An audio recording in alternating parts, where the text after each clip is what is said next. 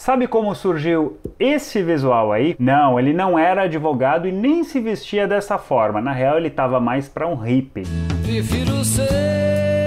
Augustinho Lix se cansou de ouvir comentários de que ele não tinha um estilo. Então ele encomendou a um cara de Porto Alegre uns óculos mais diferentes que ele pudesse fabricar. Comprou um gel de algas e jogou todo o cabelo para trás, mas faltava roupa. Em casa ele provou todas as peças do guarda-roupa, mas nenhum visual agradava. Então pediu uma camisa social emprestada a um amigo e decidiu que dali para frente ele seria o guitarrista mais inconfundível do rock nacional. A história dele tem muitas aventuras, guitarras, romance e anos de silêncio depois de uma expulsão infantil, como seus próprios colegas de banda admitiram anos depois. E essa é a história de Augustinho Lix, o guitarrista mais marcante dos Engenheiros do Havaí.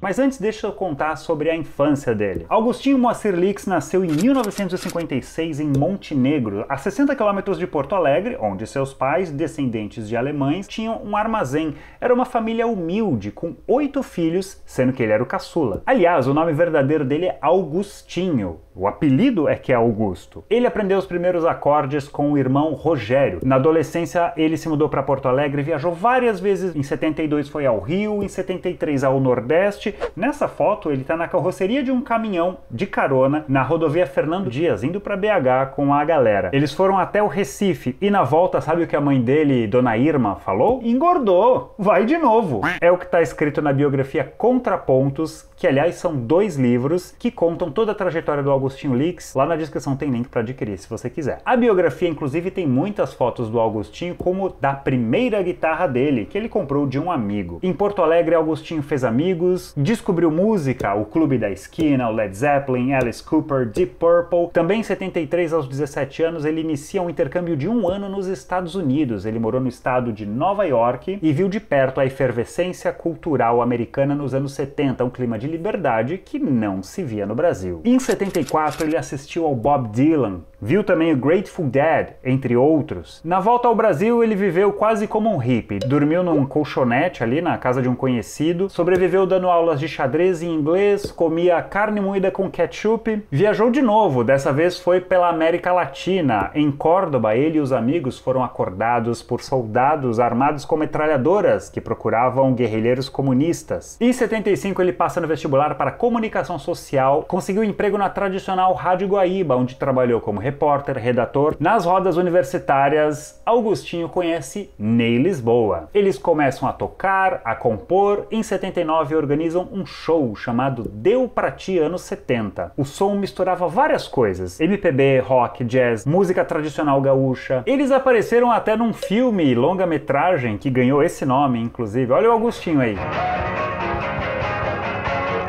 Até 85, Augustinho conciliou o trabalho de jornalista com a carreira de músico junto do Ney. Eles gravaram três discos. Em 86, Augustinho acompanhou a turnê nacional dos gaúchos Clayton e Cledir. E em 1987 começa a história dele com os Engenheiros do Havaí. E ela foi assim: no terceiro disco que o Augusto fez com o Ney, Carecas da Jamaica, na faixa título, Ney quis chamar uma banda que era uma sensação de Porto Alegre e que tinha tomado de assalto as rádios brasileiras nos últimos meses eram os engenheiros do Havaí. No dia 11 de maio daquele ano, Humberto Gessinger, Carlos Maltz e Marcelo Pitts gravaram a faixa Carecas da Jamaica com Ney Lisboa e Augustinho Lix. Augustinho conhecia eles porque tinha sido técnico de som num show dos engenheiros em Porto Alegre. Aos poetas, luz e depois dessa gravação, Carlos perguntou se alguém queria assistir ao show dos ingleses do Echo and the Bunnymen. Eles iam tocar no Canecão, no Rio, e o único que aceitou foi o Augustinho. O encontro deles foi assim. Carlos fala da banda, do rock gaúcho, bateria e assim por diante. Augusto conta um pouco de sua história, de parceiro a guitarrista contratado pelo Ney. Fala da importância de as bandas usarem poucos recursos que os estúdios oferecem e fazerem no show um som mais próximo possível do que está no disco. O Marcelo Pitts já estava de saída da banda, o que eu contei num outro vídeo aqui no canal sobre como era a relação dos membros dos engenheiros do Havaí. O link apareceu aqui em cima e está lá na descrição também. Então, quando chega no hotel, já sabendo que eles precisariam de um novo membro, Carlos relata essa conversa com Humberto e eles se perguntam: será que a gente não convida o Augustinho para entrar na banda? E numa ligação, Augustinho aceitou o convite. Começava aí a clássica formação GLM: Gessinger, Licks e Maltz. Havia diferentes razões para que Licks fosse convidado para a banda. Ele era identificado com os anos 70 e aquele era um momento de negar o som dos anos 70, o psicodélico, o progressivo, o blues, o rock rural. Era um momento do punk, do pós-punk, da new wave, uma coisa mais simples, direta e dançante. E mais, Augustinho não era visto nem como um guitarrista de rock por tocar com Ney Lisboa. Para Humberto e Carlos, tudo isso significava nadar contra a maré. E ir contra todos é o que caracterizou os engenheiros do Havaí na primeira década de existência deles. Além disso, Augustinho trazia referências musicais e conhecimentos técnicos que os dois novatos não tinham. Este foi o primeiro ensaio dessa formação na Casa dos Maltes em Porto Alegre. Essa foto está numa outra biografia, Infinita Highway, Uma Carona com os Engenheiros do Havaí, do Alexandre Lucchesi, que eu também vou citar e que também tem link lá na descrição. O Augustinho chegou em cima da hora para a gravação do próximo disco, A Revolta dos Dandes. As músicas já estavam escritas, tinha até uma demo já de baixo bateria, então não teve muito que ele pudesse fazer. Mesmo assim, ele conseguiu fazer linhas clássicas como Refrão de Bolero, Terra de Gigantes e Infinita Highway. Essa foi uma das primeiras entrevistas do Augustinho nos Engenheiros do Havaí. A gente está mantendo acesa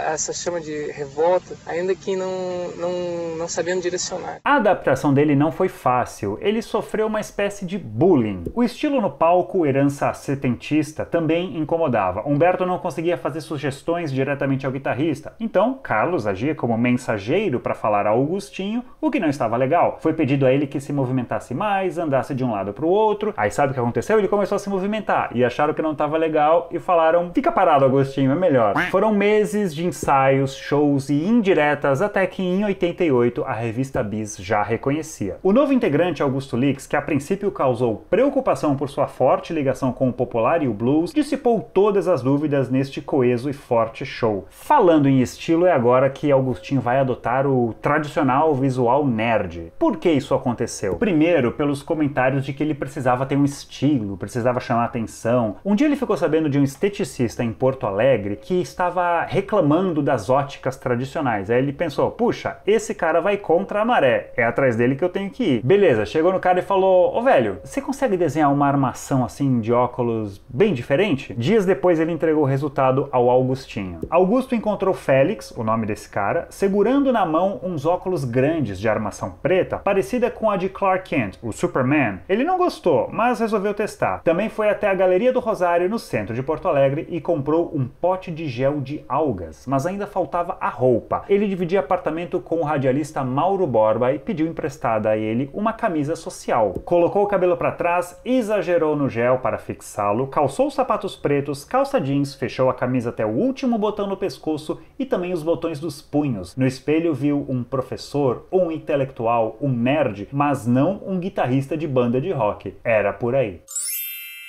Ele nem sabia qual seria a reação da banda e naquele dia eles tinham um show em Porto Alegre. Ele chegou meio de surpresa, falou: Galera, o que, que vocês acharam do meu visual? Eles acharam o máximo. Até porque ia contra o visual das roupas rasgadas, dos cabelos espetados ou raspados, que eram a moda. Inclusive, cara, fãs agradeciam o Augustinho por estar tá de óculos, porque ainda havia um certo preconceito contra quem usava óculos. Então ele e o Herbert Viana representavam essas pessoas.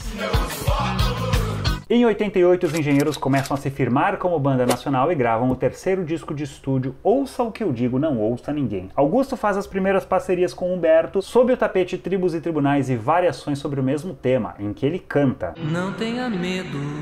Porém, quem convivia com a banda percebia que ele era um peixe fora d'água, um cara bem diferente de Gessinger e Maltz. É o que escreve Lucchesi na biografia Infinita Highway. Augustinho não tinha o estilo de vida de Gessinger e Maltz. Da mesma forma que os rapazes, ele também não encarava a estrada como uma festa, mas também não era tão socialmente avesso quanto os fundadores do grupo. O Maltz disse à biografia: A gente nunca alimentou a ilusão de que ele seria esse tipo de cara. O Augusto não era um engenheiro do Havaí, era um cara que estava tocando na banda. Paradoxalmente, ele foi sim um grande engenheiro do Havaí. Na turnê do Ouça o que eu digo, André Forastieri escreveu: A principal transformação da deve ser creditada à presença de Augusto Lix. Suas intervenções na guitarra dão o mapa das preferências atuais dos engenheiros por dinossauros dos anos 70. Em 89, os três se mudam para o Rio e acontece outra mudança visual. Humberto e Augusto começam a usar instrumentos de uma mesma marca. A sugestão partiu do Humberto. Ele se inspirou numa banda americana de blues rock chamada ZZ Top e até em duplas caipiras. E com esses instrumentos eles gravam ao vivo o alívio imediato. Mas antes Augustinho conheceu seu grande amor, foi na cidade de Guaratuba, litoral do Paraná. A repórter Márcia Jacubiac tinha sido designada para cobrir um evento onde tocariam bandas e ela não conhecia bolhufa sobre nenhuma delas. Quando ela chega ao local, um cara de óculos passa uma cantada e ela diz para ele: Vai te catar, seu mané. Pois é, minutos depois, esse cara estaria no palco tocando guitarra para os engenheiros do Havaí, deixando a repórter desconcertada. Ainda mais quando, no intervalo, ele se vira,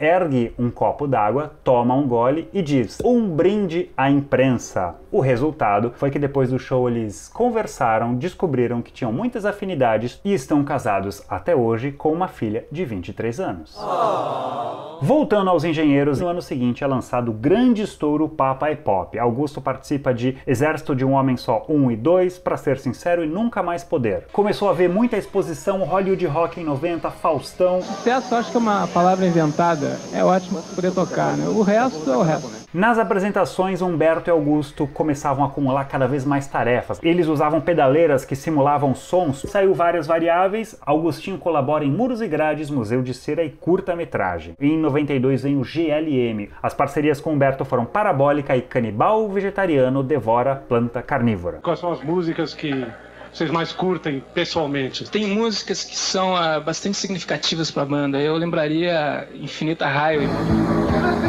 A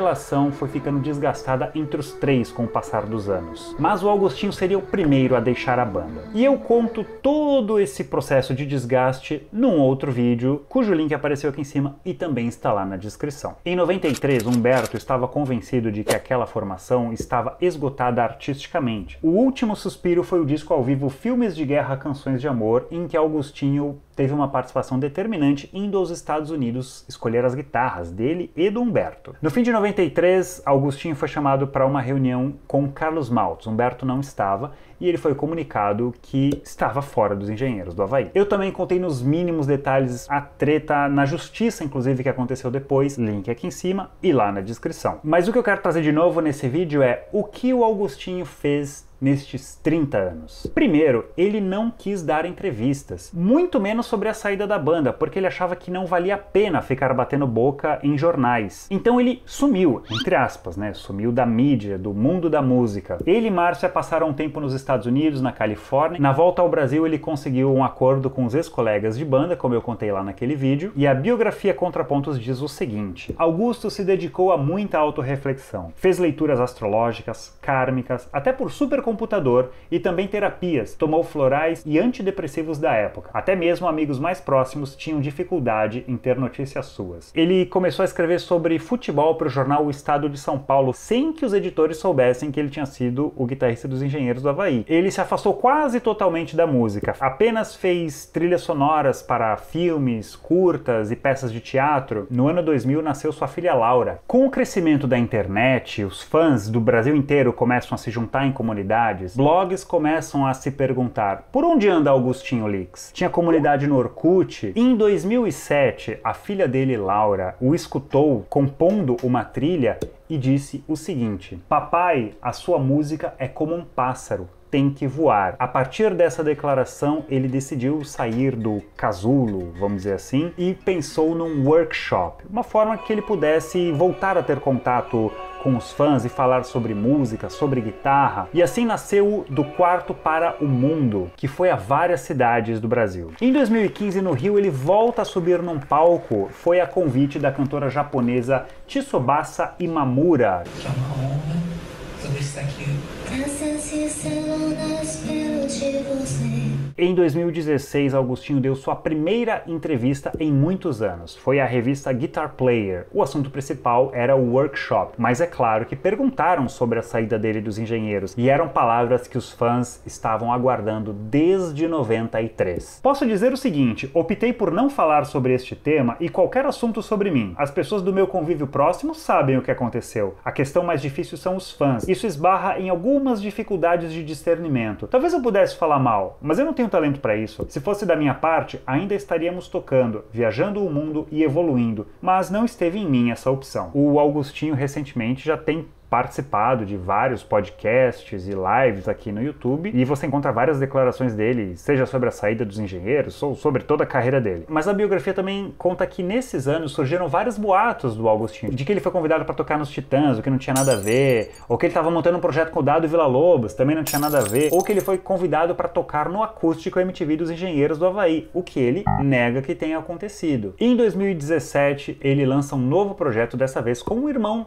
Rogério, chamado Licks Blues, que também fez algumas apresentações. E hoje, Augustinho está rodando o Brasil com esses encontros com fãs, e se tudo der certo, a gente vai se encontrar lá em Curitiba. Se você quer que esse encontro role, ajude a gente a fazê-lo acontecer. Então lá na descrição tá o link para a campanha do Catarse para você nos ajudar. Essa foi a história de Augustinho Licks, era isso, e até a próxima.